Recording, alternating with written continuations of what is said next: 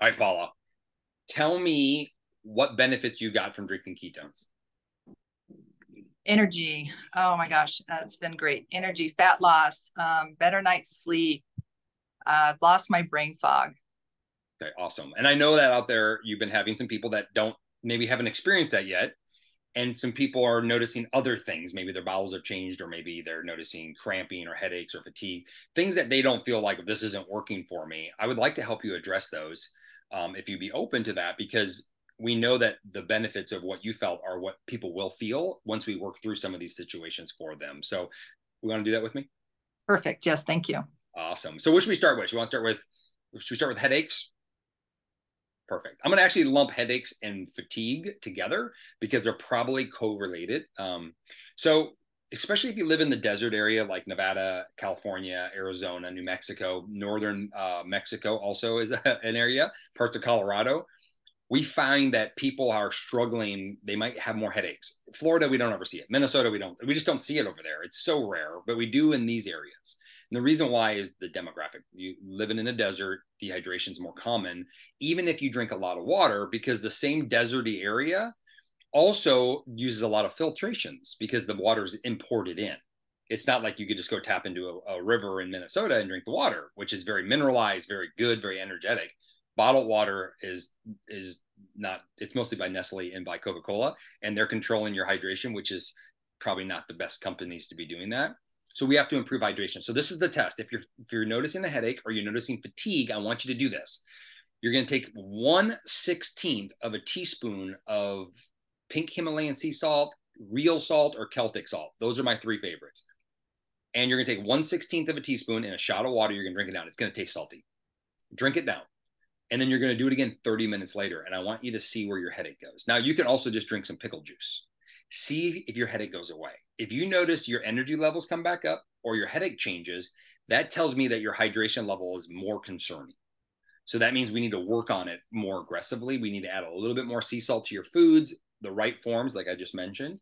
We need to be uh, make sure you have Pruvit uh, electrolytes, the Mitoplex, and you have two of those a day and they're formulated for our product. They're a really good product. They have a lot of good things for the brain and cellular turnover. So those are the things that you want to address from hydrations and headaches. Most commonly, I mean, ketones have been shown to improve headaches, and if that makes any sense. So there's a lot of huge cognitive benefits. If you're getting a headache, it's probably more linked to dehydration, and energy is also linked to dehydration. So we just have to amplify dehydration. Now this is good. If this if this is if we find that it's you're dehydrated, once you get your body hydrated on a regular basis, your results go up by 300% because now everything in your body can work better. And you're probably walking around right now dehydrated. You have been for the last year or two. So we need to address this. And this is a great thing for us to be able to solve. So that's that's what I would say about dehydration. Nice little test. We just got to start increasing everything. But start with that test. It'll tell us a lot. And then from there you can you can improve over time. Okay, perfect. What about um loose stools? Loose stools. Okay, so what happens with the bowels? So the funny thing is, it could be loose or slow stools, right? Both things can happen. The most common reason why people have stool changes is mostly because they change their diet. Any kind of dietary change, like especially if it's extreme, if you take somebody that goes from a meat eater to a vegetarian, they're going to have loose stools because their bowels have changed a lot, or they're they're going to get constipated, right? Or anybody that cuts out a lot of processed food, their bowels are going to change. So that's the first thing I want you to keep in mind is if your stools are a little sensitive and they're not and they're changing quickly, what we want to do is don't change your diet dramatically. Start with phases. Take time to get there because ultimately you're going to learn more. Now, the second thing I want you to think about is we have minerals in our product. Those minerals are important partly for hydration, but also delivering ketones to your body. But minerals themselves, if you drink them really fast, they can cause weight through your bowels. So what you want to do is you want to start, you might have to start with a half a serving. You might have to cut from a full to a half for a while until your gut gets healthier and your diet gets better. Um, you might drink a half a serving and then the other half in the afternoon. If you're drinking a full serving, what you want to do is slow down the rate of drinking it. So what I would tell you to do is use less water and it'll be a little bit more sweet, but instead of using 20 ounces, maybe you use 16 or 12 ounces and then drink that over 30 minutes. And what happens is you don't have as much weight and much fluid going through your bowels all at one time. And that slows down the transit time. So that's a simple thing to do. At the same time, what we want to do for improving gut health is probiotics and prebiotics. So probiotics are things like yo- Greek yogurt if you're dairy okay with dairy, or get a probiotic pill that you can take. Greek yogurt works great if you can do dairy. Um, also has high protein in it. And then also you want to do high fiber vegetables. So high fiber vegetables also helps create bacteria, which is what our gut helps our stools come through. So if your bacteria is low, your stools are going to get loose. So we have to slow that process down.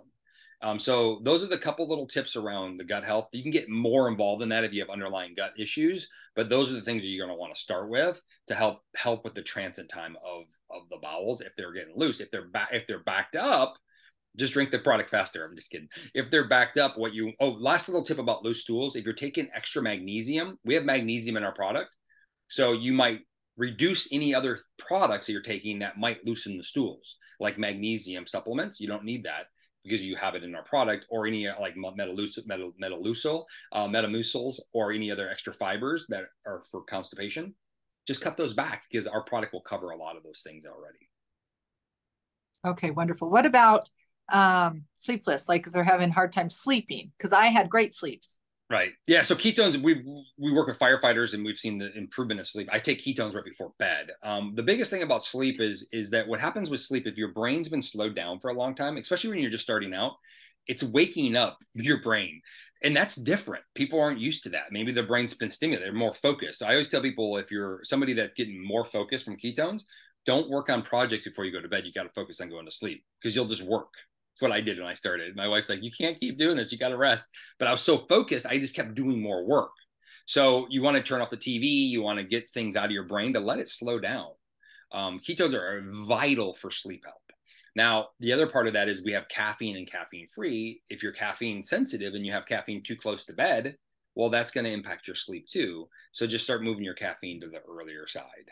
Um, so have it earlier in the day. Uh, I mess up that sometimes. I have a caffeine one at five o'clock in the afternoon, and I don't sleep until midnight.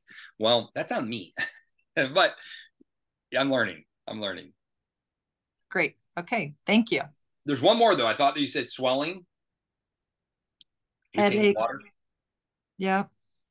I think we're retaining yeah. water. I think you had mentioned that earlier. So retaining water, um, there's a few effects that are happening there. It's mostly hydration based um, what we find is increasing your potassium levels will ultimately help that um, the most. But when you get retaining water, you basically your your intercellular hydration's off. You're basically water staying in one area, it's not transferring to the other area. That's partly tells me that your health is not awesome.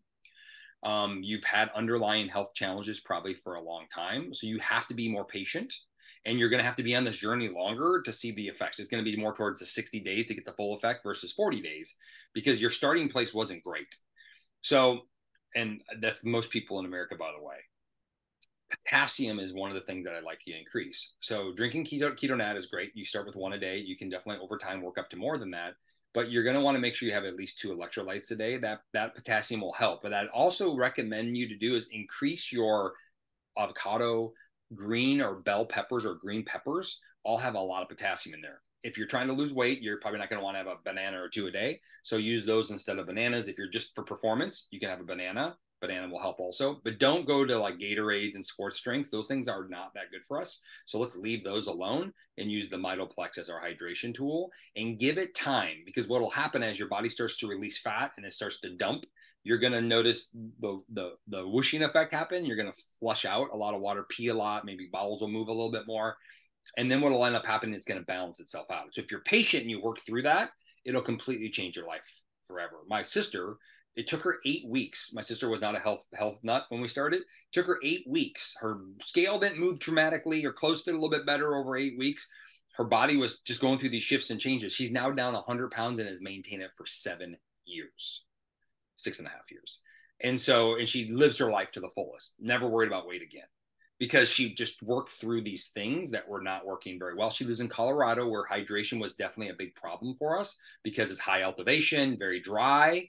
And so we had to increase her electrolytes, and that was really important for her. Okay, great. Awesome. Well, hey guys, listen, um, we're super excited about your journey, and I just tell people be patient on this process. We're focused on your health.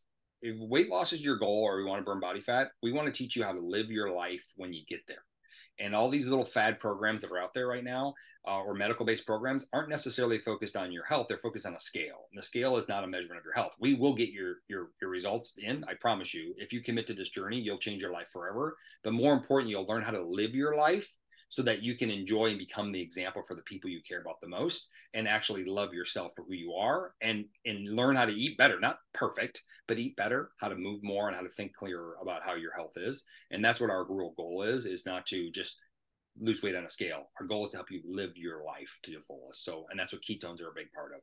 So thanks. Thanks paula. Thank you